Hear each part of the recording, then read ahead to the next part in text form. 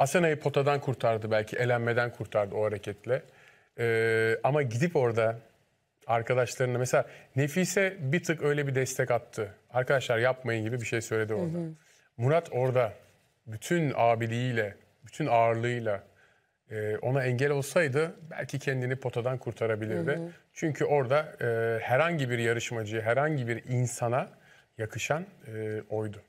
Yani takım için bağırırsın ama bir isim için potaya potaya, Asena potaya diye bağırmak bence kırmızı takım üzerinde yine ufak bir çamur daha oldu.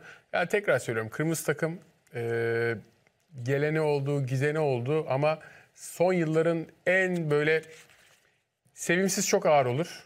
Ama e, nasıl diyeyim?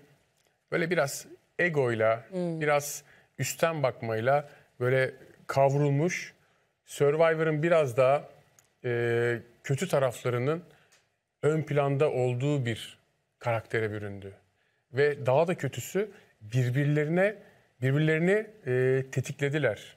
Hani bugüne de bir atasözü söyleyelim. evet. Yine çok söyleriz ama üzüm üzüme baka baka kararır.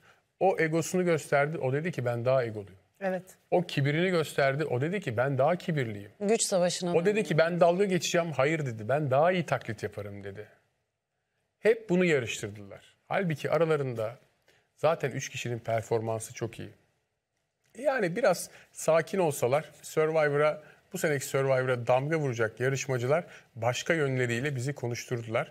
Ee, Murat'ın yolu açık olsun. İnşallah e, çok konuk almak isterim.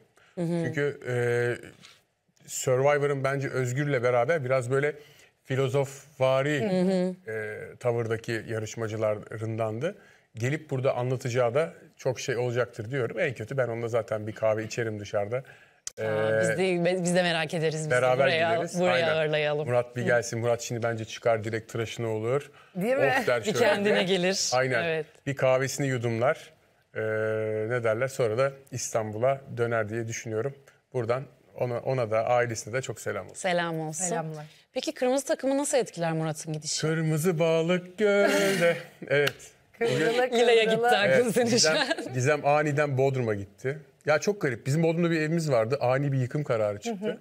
Yıkım kararı çıktı. Biz gidene kadar evi yağmalamışlar. Evde hiçbir eşya kalmamış. Ne Beyaz kadar süre içinde oldu bu? İki gün içinde. Yani düşünsene bayram sabahı evet evde eşya bırakmamışlar. Böyle bir durum. Şimdi az önce haber geldi. Ee, diyecek bir şey yok. Gül, e, Gündoğan'da Bildurkent diye bir sitede bir evimiz vardı. Ee, hani alana diyecek bir şey yok. Çünkü ben inançlı bir insanım.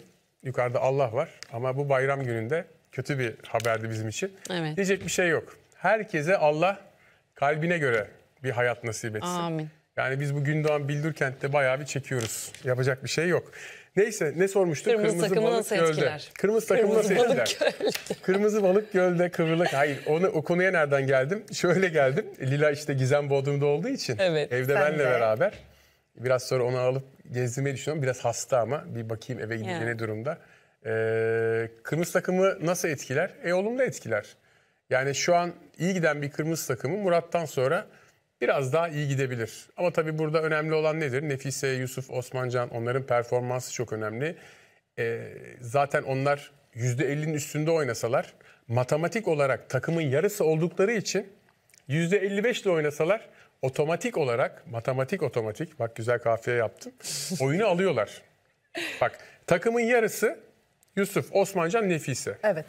%60 ile oynasa geri kalanlar %10 ile oynasa bak 10 ile oynasa Yine yet. yine kazanıyorlar. Yine yetiyor. O yüzden bundan sonra mavilerin işi çok zor. Ama Survivor doğru eksilmeyi sever. Kırmızı takımı biz bu hafta bol bol işte paraşütlerde, otellerde yıkanırken, oynarken, dans ederken göreceğiz diye düşünüyorum. Ama sıra şimdi mavi takıma geldi. Mavi takım eğer aklını kullanıp doğru eksilme yaparsa işler değişir. Ha, doğru eksilme deyince zaten orada tek bir kişi var. O da Aziz. Aziz giderse takımların bence güçleri dengelenir. Ama Aziz'e de ufak bir sarı olmadığı için kırmızı kartımı göstereyim. Dün çünkü dediği lafa bir tık üzüldüm. Ee, Rümeysa ile ilgili olaya.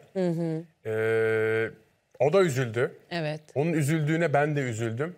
Kırmızı kartımı aslında göstermiyorum. Şakasına gösterdim. Ama e, Azize pek Evet. yakıştıramadım. O konuda birazdan zaten inceleyeceğiz. Evet aynen aklıma gelmişken geçeceğiz. söyleyeyim dedim. Ee, Evrim sen ne dersin kırmızı takım nasıl etkiler Murat Ee? İyi etkiler. Ee, kırmızı takım için iyi bir haber aslında bu. Her ne kadar Murat'ın karakteri düzgün, hani sıkıntı çıkarmayan, kavga etmeyen bir karakter olsa da ama kırmızı takımı paçasından aşağıya çeken bir Survivor'dı. Ee, Hakan'ın da dediği gibi paraşütlerde bol bol yemek yerken, yat gezilerinde işte ödülden ödüle koşarken göreceğiz gibi hissediyorum. Hatta hiç dokunulmazlık bile kaybetmeyebilirler. Evet. O kadar yani güçlendiler benim gözümde. Ama burada da önemli olan Buse'ye ve Barış'a iş düşüyor. Şimdi Buse'nin 4 oyun oynayıp 4'te 0 yaptığını, Barış'ın erkeklerde çıkıp 3'te 0 yaptığını düşünürsek e, o zaman Kürşat'la Yusuf ne kadar toplayabilir erkekleri? Kesinlikle. Yani birazcık da dokunulmazlıkta özellikle Kürşat'ın, Buse'nin, Barış'ın önce kendileri için bir sayı sonra da takım arkadaşları için totalde iki sayı almaları şart. Sayıları da azaldığı için daha çok oyuna çıkacaklar. Ya daha çok sayı, sayı getirecekler ya da daha çok sayı götürecekler. Kırmızı takımın işi de bir o kadar da kritik aslında. Ya Buse ile Barış'a iş düşüyor. Ee, Nefise'ye, Osman'a değil, Yusuf'a değil. Onlar rölantide. İki alır, üç alır, dört alır. Onların normal. Barış önemli, Buse önemli, e bir de Kürşat önemli. İki konu var konuşmak istediğim. Mümkün mü? Kırmızı takımla alakalı. Tabii. Ee, geçen gün bir şey söylemiştim. Maalesef Murat elenir. Ama Murat elenirse eğer e, kırmızı takımdaki bireylerin oturup düşünmesi gerekir demiştim. Neyi düşünmesi lazım? O kadar takım olamamışlar ki 5 tane yani gönüller takımın tamamı e, potadayken neredeyse Özgür dışında sen e, Murat'la tek adayla orada potaya gidiyorsun ve senin tek adayın oradaki 5 tane yarışmacıya eleniyor. Bu bize neyi gösteriyor biliyor musun? Kırmızı takım takım olamamış. Evet. Eğer kırmızı takım seyirci gözünde biraz takım olsaydı seyirci de takımın sahip çıktığı gibi Murat'a sahip çıkardı. Ama herkes ayrı telden oynayınca, herkes ayrı telden çalınca e, ne derler Murat'a da seyirci de sahip çıkmamış. Çünkü insanlar Survivor izlerken şöyle ayrılıyorlar. Genelde işte evdeki kadınlar mavi tutuyor. e, erkekler kırmızı tutuyor. Ya da adam kırmızı tutuyor. Zaten evde erkek kırmızı tutarsa kadın mavi tutuyor. Klasik yani. tabii tabii. Kocacığım kimi tutuyorsun? Kırmızı. Ben de mavi o zaman. Evet. Kırmızıyı tutacağı varsa bile.